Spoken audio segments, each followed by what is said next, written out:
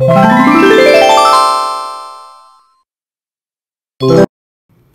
Students, क्या हाल है आपके? आज हम बात करते हैं अपने उस लेक्चर के बारे में, जिसका हमने अपने पिछले लेक्चर में तस्करा किया था कि डेप्रीसिएशन को सॉल्व करने के लिए हमने दो मेथड जो हैं वो अप्लाई करने हैं।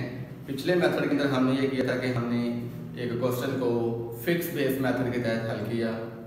और आज हम एक इलस्ट्रेशन लेके आए हैं आपके लिए, जिसमें हम आपको करवाएँगे डिमिनिशिंग बैलेंस मेथड के तहत क्वेश्चन ये वो मेथड होगा जिसमें डेप्रिसिएशन की वैल्यू हर साल कम होती चली जाएगी, यानी कि इसमें डेप्रिसिएशन लगाई जाएगी एसेट की रिमेनिंग बैलेंस से इसलिए डेप्रिसिएशन क्या होती जाएगी?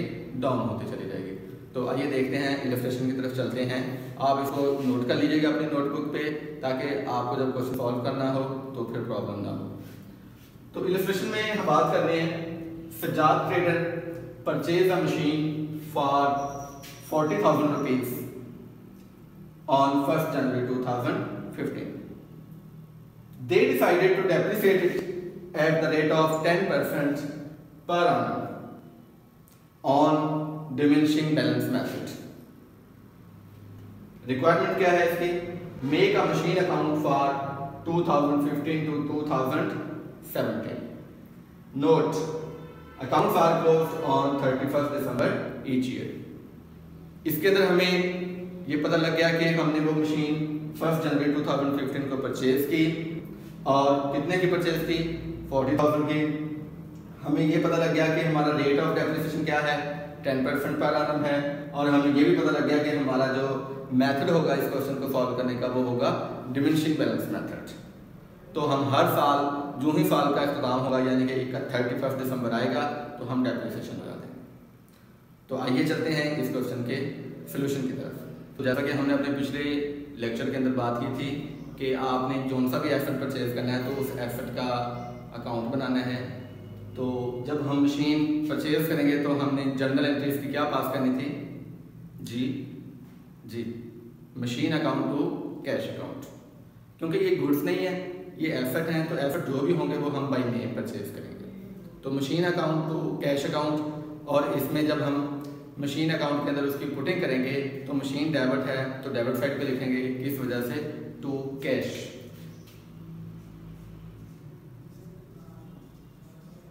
to cash account और ये कब खरीदी थी हमने? 2015 फ़र्स्ट जनवरी अब हमने कितने की खरीदी थी? फोर्टी थाउज़ेंड रुपीज़ की। जी, अब पहला साल जो है, उसका एंड हो रहा है तो थर्टी फ़र्स्ट दिसंबर में हम आ गए हैं। तो two thousand fifteen thirty first December तो जब हमने डेप्रिसिएशन लगानी है तो आपको पहले भी इस बात को जो है वो आगाह किया गया था, बताया था कि जब भी डेप्रिसिएशन चार्ज करनी है तो उसकी एंट्री क्या पास होनी है? Depreciation account to machine account अब मशीन क्रेडिट हो गई है तो इसलिए हम इसको क्रेडिट साइड पर लिखेंगे। किस वजह से? बाई डेप्रिसिएशन तो इधर हम लिखते हैं by depreciation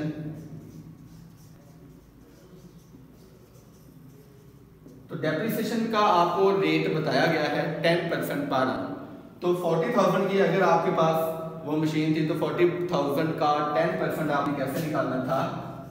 Forty thousand multiply ten divided by hundred तो ये फोर थाउज़ेंड डेप्रिसिएशन की अमाउंट बन गई। तो हम डेप्रिसिएशन में फोर थाउज़ेंड लिख देंगे। अब हम बैलेंस कर देंगे, जिस तरह आम लेजर बैलेंस किए जाते हैं, इसको भी बैलेंस किया जाएगा। जो सी साइड बड़ी होती है, उस साइड का टोटल नीचे आता है हमेशा। तो इधर फोर्टी थाउज़ेंड है। तो इधर हमें बैलेंस करने के लिए फोर्टी थाउज़ेंड हम यहाँ पे thirty five thousand thirty six thousand rupees लिखने पड़ेंगे।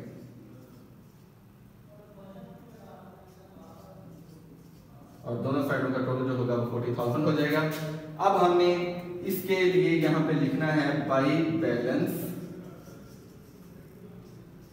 कैरी डाउन ये जो थर्टी सिक्स थाउज़ेंड हमने बैलेंस के बाद अब यही बैलेंस जो है, हम next year two thousand sixteen Jan first January में आ जाएँगे। तो हम वही बैलेंस दोबारा ले आएँगे। टू बैलेंस ब्राड डाउन कौन से वाला? जो अब मशीन की बकाया कीमत रह गई है, वो है थर्टी सिक्स थाउज़ेंड अब थर्टी सिक्स थाउज़ेंड के ऊपर हमने डेप्रिसिएशन चार्ज करनी है, क्योंकि 2016 का एंड हो रहा है तो 2016 31 दिसंबर तो अब जो डेप्रिसिएशन चार्ज करनी है, फिर हमने वही एंट्री पास करनी है depreciation account to machine account machine credit हो रही है क्रेडिट साइड पे लिखेंगे किस वजह से? बाई डेप्रिसिएशन तो अब जो डेप्रिसिएशन लगानी है 10 परसेंट वो किस बैलेंस पे लगानी है? जो रिमेनिंग बैलेंस बच गया है इस 36,000 के ऊपर डेप्रिसिएशन लगाई जाएगी। तो 36,000 के ऊपर अगर हम 10 परसेंट डेप्रिसिएशन लगाएँगे तो वो कितनी बनेगी? 3600 अब फिर हम बैलेंस कर देंगे। तो इसी डेट को जब बैलेंस किया जाएगा तो बाई बैलेंस कैरी डाउन अब दोनों साइडों में डेबिट साइड फिर बड़ी है थर्टी सिक्स थाउज़ेंड है। तो इधर हमें कितना बैलेंस दिखना पड़ेगा कि हमारा जो है वो थर्टी सिक्स थाउज़ेंड बैलेंस आ जाए। तो कैलकुलेटर की मदद लेंगे हम।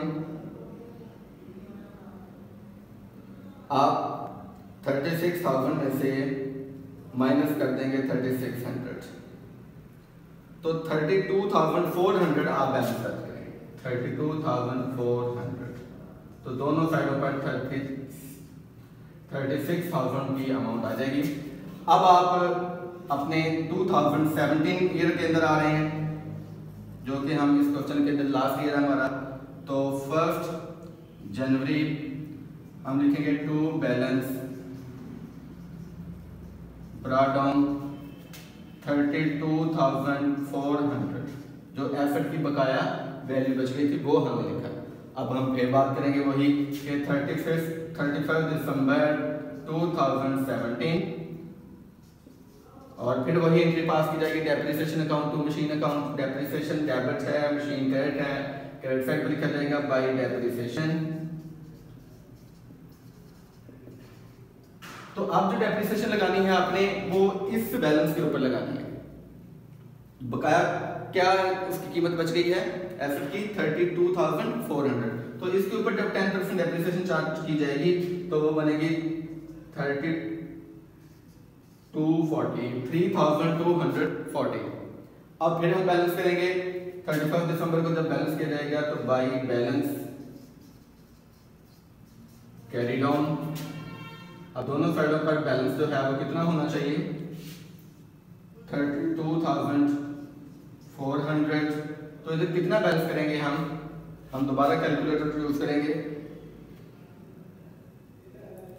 तो कैलकुलेटर में हम क्या करेंगे जी कि हम thirty two thousand four hundred में से माइनस कर देंगे थ्री थाउज़ेंड फोर्टी तो twenty nine thousand one hundred sixty 29,160 हमारा बैलेंस आएगा तो दोनों साइडों पर 32,400 जो हो जाएगा वो बैलेंस हो जाएगा।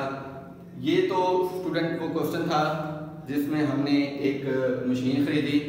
और मशीन के अंदर हमने 10 परसेंट डेप्रिसिएशन चार्ज की और 10 परसेंट डेप्रिसिएशन चार्ज करने के बाद हमने उसके अंदर जो मेथड यूज़ किया, वो था चेन बेस्ड मेथड भी कहते हैं इसको डिमिनिशिंग बैलेंस मेथड भी कहते हैं इसको रिड्यूसिंग बैलेंस मेथड भी कहेंगे रिमेनिंग बैलेंस मेथड भी कह दिया जाएगा इसको डिक्रीजिंग बैलेंस मेथड भी कह दिया जाएगा। यानी कि ऐसा मेथड जिसके अंदर डेप्रिसिएशन क्या हो रही है, कम होती जा रही है। देखें पिछले पहले साल हमने फोर्टी थाउज़ेंड के ऊपर डेप्रिसिएशन लगाई टेन परसेंट तो फोर थाउज़ेंड बनी बैलेंस किया thirty six thousand thirty six thousand के ऊपर हमने नेक्स्ट ईयर डेप्रिसिएशन लगानी इसी बैलेंस के ऊपर तो वो टेन परसेंट कितनी बनेगी? थर्टी सिक्स हंड्रेड अब हम 2017 के अंदर आ जाएँगे तो बैलेंस हमारा जो मशीन का बच गया था वो था 32,400 तो अब डेप्रिसिएशन जो लगाई जाएगी वो 32,400 के ऊपर चार्ज की जाएगी। वो कितनी बन रही थी? 3,240 बैलेंस कर दिया 29,160 इट्स मीन कि आफ्टर थ्री इयर्स आपके पास उस मशीन की जो अब रिमेनिंग वैल्यू है वो है 29,160 तो आप इस क्वेश्चन को नोट कर लें और इसी तरह की इलिस्ट्रेशन जो है वो आप खुद से भी सॉल्व कर सकते हैं। तो जी गाइस कैसी लगी आपको हमारी आज की वीडियो इनशाला नेक्स्ट लेक्चर के अंदर हम बात करेंगे डेप्रिसिएशन के हवाले से ही, लेकिन वहाँ पर हम मशीन जो है, वो हो सकता है एक मशीन पहले से चल रही है और दरमियान में साल के कोई दूसरी मशीन भी परचेज कर ली जाए, यानी कि एडिशनल मशीन परचेज कर ली जाए। और उसको कैसे सॉल्व करना है? और अगर एक मशीन जो हमने दो, तीन, चार साल इस्तेमाल की है, उसके बाद वो इस्तेमाल के काबिल नहीं रही तो हमने अब उस मशीन को सेल करना है। तो सेल करने के बाद हमें उस मशीन के अंदर कितना लॉस हुआ, वो लॉस कैसे कैलकुलेट करना है?